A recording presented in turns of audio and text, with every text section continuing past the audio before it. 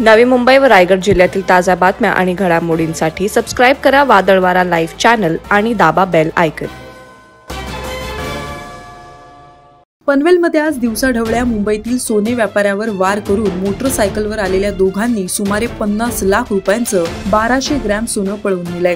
पनवेलमध्ये मुंबईचे jewellery delivery करणारे व्यापारी दीपेश जैन हे व्यवसायासाठी आले असता कापड गल्ली इथून एका दुकानातून परतत असताना मोटरसायकलवर आलेल्या दोघांनी त्यांना रिव्हॉल्व्हरचा धाक दाखवून दीपेश जैन यांच्या डोक्यावर दस्ताचा हल्ला करून त्यांच्याकडील बाराशे ग्रॅम सोनं असलेली बॅग पळून नेली.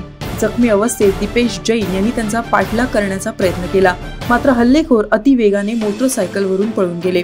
सराफा बाजारातील सोनं पॉलिश करणारे कापड गल्लीतील गोकुळ गोल्ड या बिल्डिंगमध्ये पहिल्या माळ्यावर लिफ्टच्या बाजूला असलेल्या रावसाहेब पांडुरंग कोळेकर यांच्या पेढीवर आलेल्या दीपेश जैन यांच्यावर हा हल्ला झालाय.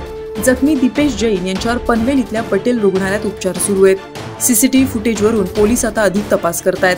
घटनास्थळी श्वान पथकालाही पाचारण करण्यात आलं. मात्र या घटनेने व्यापारी वर्गात भीतीचं वातावरण पसरलंय. वादळवारा लाईव्हसाठी संजय कदम आणि साहिल लळेकर सह ब्युरो रिपोर्ट पनवेल. नवी मुंबई व रायगड जिल्ह्यातील ताज्या बातम्या आणि घडामोडींसाठी सबस्क्राईब करा वादळवारा लाईव्ह चॅनल आणि दाबा बेल आयकन